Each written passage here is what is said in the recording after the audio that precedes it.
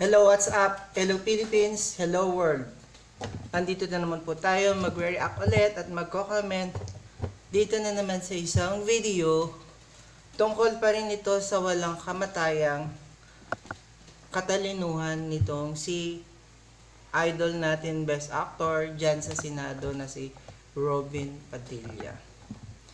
Ito po yung masasabi natin talaga na kapag ang isang bagay napunta sa maling lugar, may mangyayaring hindi natin inaasahan.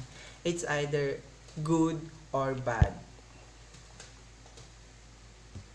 Ah, malaking kapulungan. Yung sinasabi nilang pag-issue ng subpoena at warrant. Eh, syempre po, malaking gulo ito. Kasi sinabi na po ni Pastor na hindi siya pupunta. So ano po ito? Palalakihin ba natin ito? So, pag sinabi lang ba ni Pastor na hindi siya pupunta, matatakot na tayo? Matatakot na ang Senado? Sino ba si Pastor Kibuloy? Name above the name. Name above the law ba siya? So, pag sinabing gulo, natatakot kayo. Eh, kayong nasa posisyon eh. Kayo ang may karapatang gumawa ng mga hakbang para mapatunayan kung sino ang tama at mali. Ito kasi si Robin Padilla, hindi natin maintindihan. 'Di ba, member siya nung committee ni Risa Ontiveros. So, pag nagtatag ka ng committee sa pagkakaalam ko, dapat yung mga kasama mo dyan is kakampi mo, tutulong sa'yo. Sila ang gagabay at gagawa ng mga bagay na ikakabuti ng inyong pinoproseso. So, anong nangyayari ngayon? Bakit parang itong si Robin Padilla nandyan para kumontra?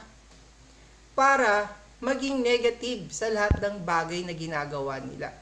Bubuo ka ba naman ng committee na kukuha ka ng bato na ipupukpok mo sa ulo mo? Ano to? Gusto mong maging kriminal pero nag-apply ka bilang pulis?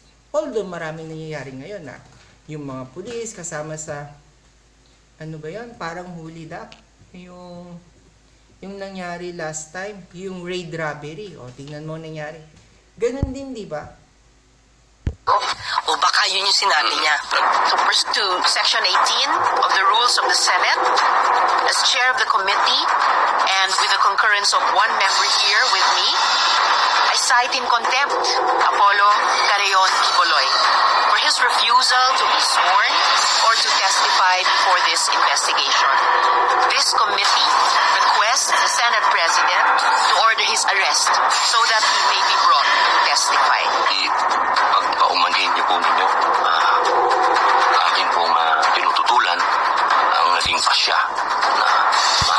O see, tingnan nyo.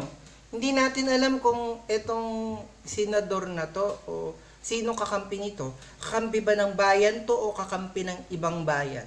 Kakampi ba to ng kabutihan o kakampi ng kasamahan? Tingnan mo yung nangyari dati. Di ba yung issue niya, yung sa flag ceremony? Yung iniba niya, yung paglagay ng kamay sa dibdib, di ba? Tapos naging expert, spokesperson sa ng China. Ano ba talaga? Ito ba binoto natin para tagapagtanggol ng bayan o tagapagtanggol ng ibang bayan? Tagapagtanggol ba para sa kabutihan o tagapagtanggol para sa sa ibang ibang purpose? Para ba sa bayan o para ba sa pansarili ang ginagawa ng taon to? Hindi ko na maintindihan eh. Nagbasa ba to ng rules ng Senate? O anong ginawa nito? Naupo na lang dyan at pinanindigan ng pagiging senador, in-enjoy niya at nanalo siyang senator. Hindi ko na maintindihan eh. Ang daming maling nangyayari. Ano ba to? Wala na ba talaga sa talino kinukuha nating senado? Pinipili na ba natin ang mga batong ipupukpok natin sa ulo natin?